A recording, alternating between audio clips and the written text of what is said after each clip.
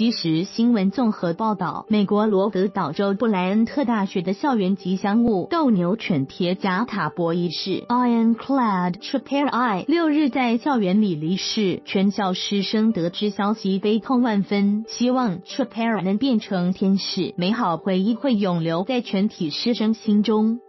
校方日前在 Bryant University Mascot Trapper 脸书专业表示，Trapper 在学校两千零十七灯节活动中突然倒得不起，但在生命结束前，他一定很开心能受到师生的宠爱。校方希望师长及同学能够珍惜及记住这个带给全校欢乐的家庭成员，并祈祷他能够展开全新美好的生活。